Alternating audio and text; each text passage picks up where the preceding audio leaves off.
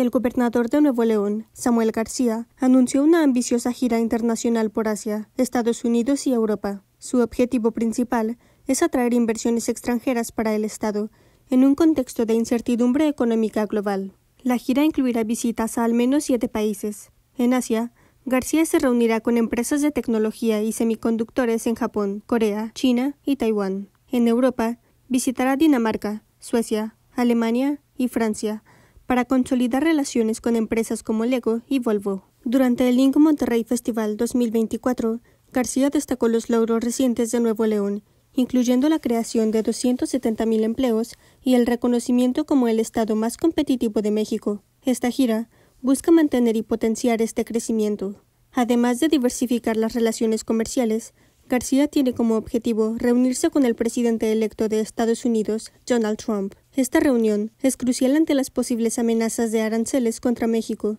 demostrando la proactividad del gobernador en la defensa de los intereses económicos de Nuevo León.